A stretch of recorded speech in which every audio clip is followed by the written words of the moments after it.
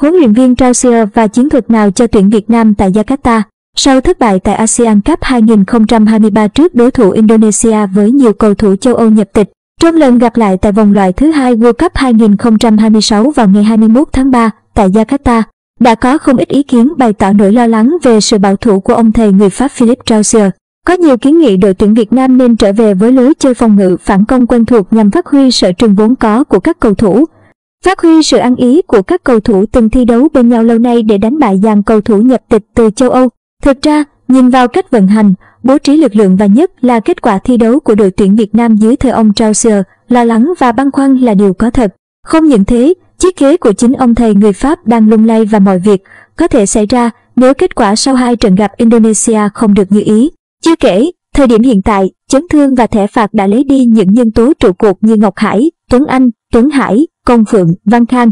Và với lực lượng mỏng đi như thế, nếu cứ cố tấn công, cố kiểm soát bóng thì có phải là thua ngay từ khi chưa vào trận, ngay từ khi đề ra phương pháp tiếp cận trận đấu hay không? Cũng thực ra, nói ông Trausier bảo thủ có lẽ chỉ đúng với thời điểm kết thúc ASEAN Cup trở về trước. Đó là khi ông thầy người Pháp gọi lên nhưng không dùng Hùng Dũng, Hoàng Đức hoặc trận dùng, trận bỏ như với Hùng Dũng. Đó là khi ông gọi lên rồi loại bỏ những tấn tài, thành Chung, thậm chí cả văn thanh. Đó cũng là khi ông gọi những cầu thủ dự bị thường xuyên ở câu lạc bộ nhưng cho đá chính ở đội tuyển như Văn Trường, Văn Tùng. Lần gọi mới nhất để tập trung đội tuyển Việt Nam với danh sách 33 cái tên, cho thấy mọi việc đã khác trước. Các nhân tố trụ cột dưới thời Park Hang-seo hiện đang có phong độ tốt, có ý chí chiến đấu và cống hiến được điền tên. Những học trò trẻ thuộc bài vở tất nhiên không thể vắng mặt.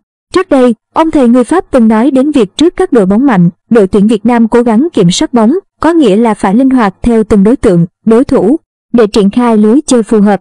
Nói thế để thấy rằng, trong thực tế, đội tuyển Việt Nam phải chủ động tiếp cận các trận đấu theo từng cách khác nhau.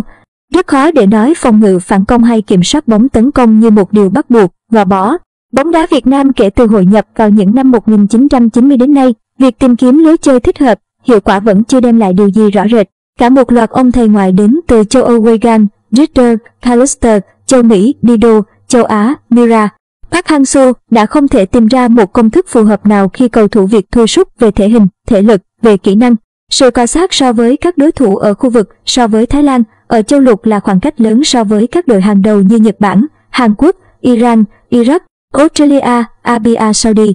Lối chơi phòng ngự phản công thành công với ông Park Hang-seo là điều đáng khích lệ, nhưng thành quả đó nhanh chóng bị đối thủ bắt bài.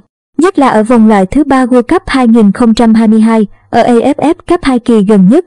Vì vậy, ông Chelsea không kiên quyết duy trì lối chơi quen thuộc này mà đi tìm phương cách mới là có cơ sở, là cần thiết nếu bóng đá Việt thực sự mong muốn vươn tầm. Tất nhiên, mọi cái mới đều sẽ gặp khó, sẽ chịu thất bại tạm thời. Ông Chelsea thừa hiểu điều đó và người am hiểu cũng thừa nhận điều đó.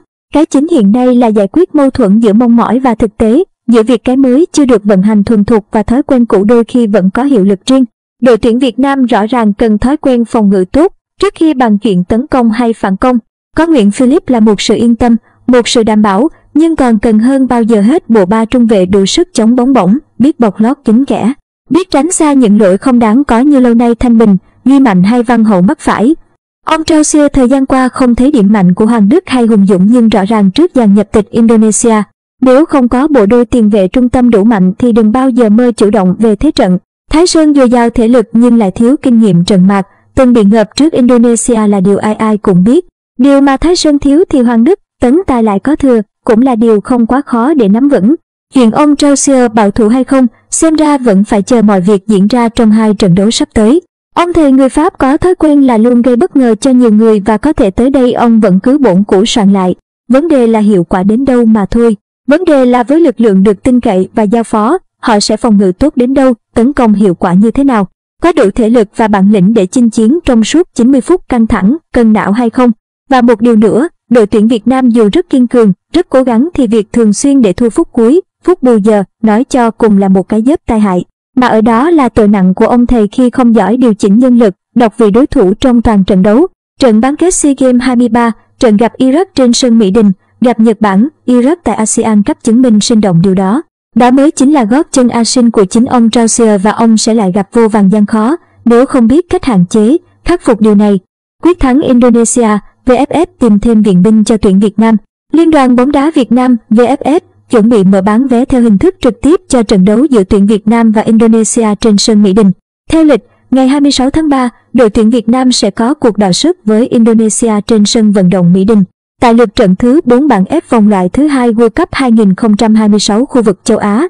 Trước đó, VFF đã tiến hành bán vé xem trận đấu này theo hình thức trực tuyến từ ngày 15 tháng 3 đến ngày 21 tháng 3 trên ứng dụng Vinix, như để tiếp thêm động lực nguồn cổ vũ của khán giả cho thầy trò huấn luyện viên Trauser trong màn so tài này. Ban tổ chức quyết định mở bán vé theo hình thức trực tiếp tại trụ sở VFF, đường Lê Quang Đạo, phường Phú Đô, quận Nam Từ Liêm, Hà Nội vào ngày 22 tháng 3. Ngoài ra, nếu vé vẫn còn thì từ ngày 24 tháng 3, VFF sẽ bán trực tiếp tại quảng trường sân vận động quốc gia Mỹ Đình, đường Lê Đức Thọ, phường Mỹ Đình, quận Nam Từ Liêm, Hà Nội. VFF thông báo sẽ bán vé xem màn so tài giữa tuyển Việt Nam và Indonesia theo 4 mệnh giá gồm 600.000 đồng, 450.000 đồng, 300.000 đồng và 200.000 đồng mỗi vé. Tối ngày 18 tháng 3, huấn luyện viên Trausier đã công bố danh sách 28 cầu thủ sẽ cùng tuyển Việt Nam lên đường sang Indonesia để hướng tới trận đấu trên sân bùng Kano ngày 21 tháng 3. Năm cầu thủ bị nhà cầm quân người Pháp loại ra là Đỗ Duy Mạnh, Nguyễn Công Phượng, Giáp Tấn Dương, Nguyễn Hai Long và Trương Tiến Anh. Với Công Phượng, hiện anh đang chấn thương cổ chân và chưa thể trở lại. Còn Duy Mạnh xin rút lui vì bị căng bắp đùi trước sau thời gian thi đấu liên tục tại V-League. Sáng ngày 19 tháng 3, thầy trò huấn luyện viên Trausier đã lên đường sang Indonesia. Thắng đẹp Indonesia có dễ.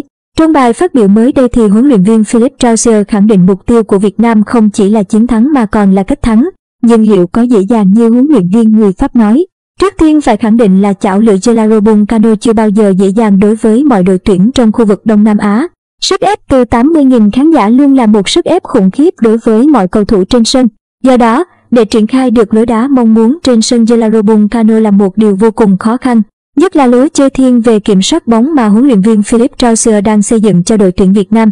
Là người hâm mộ thì lúc nào cũng muốn đội tuyển trình diễn một lối đá đẹp và có được những chiến thắng.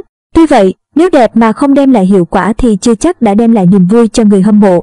Trong 3 lần đối đầu với Indonesia ở các cấp độ đội tuyển thì huấn luyện viên Philip Trauser chỉ có được duy nhất một trận thắng.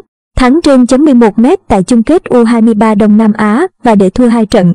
Trong đó, có trận thua 0-1 ở vòng bảng cúp châu Á 2023 vừa qua. Trận thua khiến đội tuyển Việt Nam bị loại và chấm dứt mạch 8 năm bất bại trước đội tuyển Indonesia. Có thể thấy, thành tích đối đầu của vị huấn luyện viên người Pháp với đội bóng xứ vạn đảo là không được tốt, trái ngược hoàn toàn với huấn luyện viên tiền nhiệm Park Hang-seo. Cũng trong 3 lần đối đầu với Indonesia này thì trận đấu đáng nhớ nhất của đoàn quân huấn luyện viên Philip Trausier là trận thua 2-3 tại bán kết SEA Games 32. Đây là trận đấu mà U23 Việt Nam được thi đấu hơn người và quá mãi mê tấn công để rồi nhận bàn thua ở những phút cuối cùng. Bên cạnh đó, đội tuyển Việt Nam đang không có được những nhân sự tốt nhất trong đợt tập trung lần này. Đó là sự thiếu vắng thủ thành Đặng Văn Lâm, trung vệ Quế Ngọc Hải, Đỗ Duy Mạnh, tiền vệ Nguyễn Tuấn Anh và tiền đạo Phạm Tuấn Hải.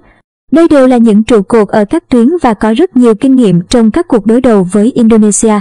Do đó, trong cuộc đối đầu sắp tới, để có được điểm trên sân Gelaro Cano đã là một nhiệm vụ khó khăn cho thầy trò huấn luyện viên Philip Trausier, chứ chưa nói đến chiến thắng và thắng đẹp. Vì vậy, vị huấn luyện viên người Pháp nên có góc nhìn thực tế về trận đấu sắp tới để có thể đưa ra những phương án tốt nhất cho đội tuyển quốc gia Việt Nam. Trận đấu giữa đội tuyển Indonesia và đội tuyển Việt Nam sẽ diễn ra vào lúc 20 giờ 30 phút ngày 21 tháng 3 trên sân vận động Gelaro Bung Indonesia.